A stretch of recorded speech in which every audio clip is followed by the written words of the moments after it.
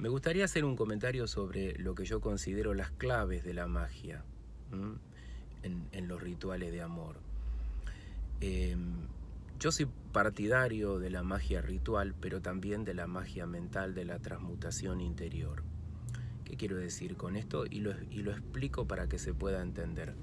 Cuando dos personas interactuamos y dos personas nos amamos, lo que interactúa entre esa persona y yo también es la imagen mental que yo tengo de esa persona y que esa persona tiene de mí.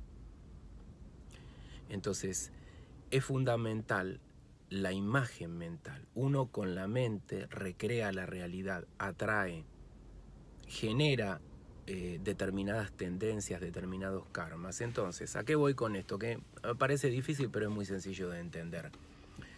Yo hago un ritual de amor a una persona que está conectada.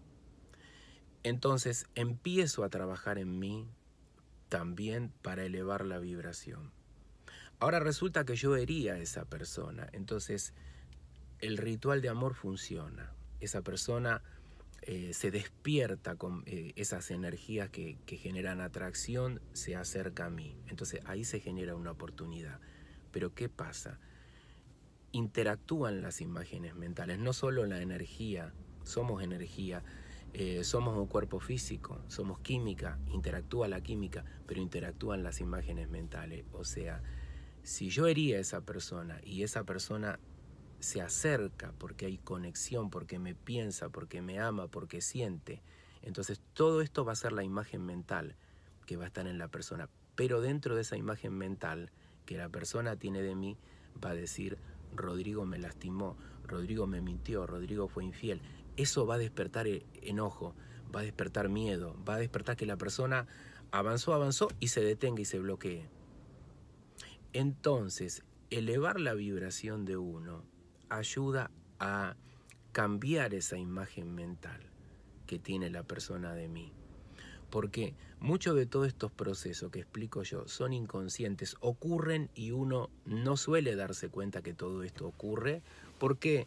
Porque se requiere un trabajo sobre uno mismo de entendimiento, de autoconocimiento, de mayor conciencia para entender todos estos procesos. Yo los explico porque llevo 25 años en esto.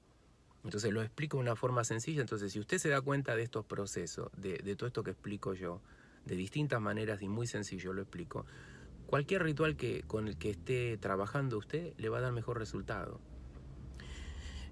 La persona intuye cómo tú estás energéticamente, por ejemplo. O sea, supongamos que tú no hiciste un trabajo de elevar la vibración y tú sigues funcionando en un nivel, digamos, algo tóxico, ¿no?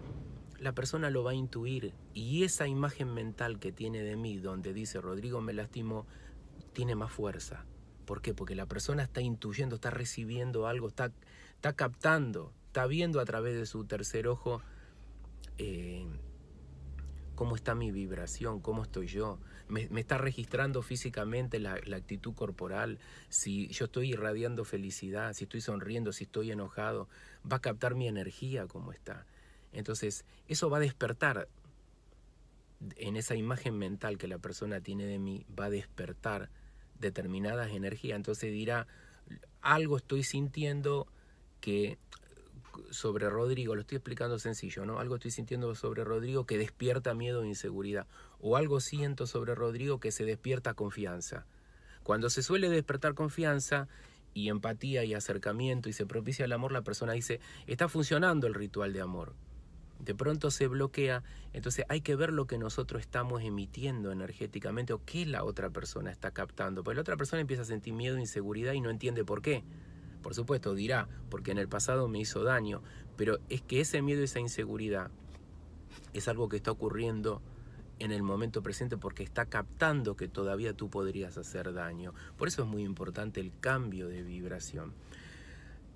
Además, uno eleva la vibración sana, está en una mejor versión de uno mismo, va a poder interactuar de una manera saludable. Porque mucha gente dice, bueno, voy a aplicar todo esto para que mi ex haga esto o haga lo otro. No, hágalo por usted. Si usted eleva la vibración, la relación que usted va a tener con la persona va a ser más saludable.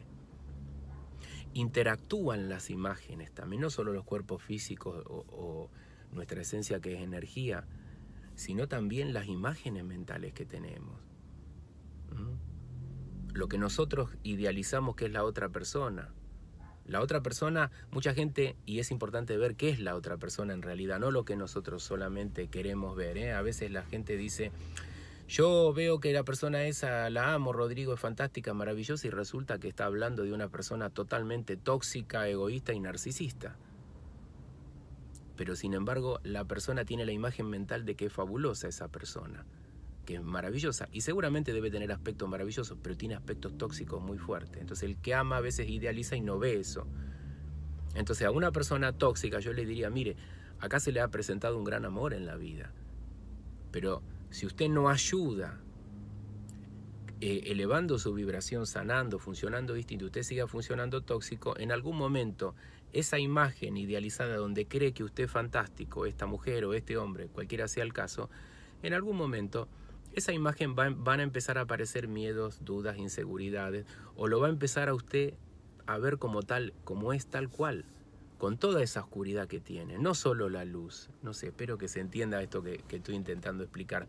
Por eso es importante, en cualquier caso, primero por uno mismo, transmutar, cambiar y después por la relación, porque la relación es significativa para ti.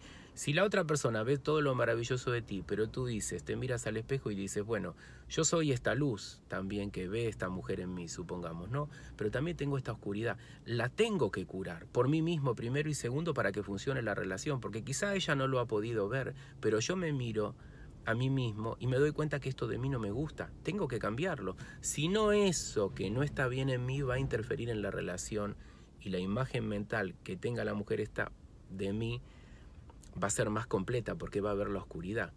Entonces eso va a despertar miedos, inseguridades. No sé, espero que esto, si ustedes lo analizan, esto les va a ayudar a entender por qué yo hablo tanto de cambio y no solo de rituales. No solo, la magia es un proceso, no es solo un ritual.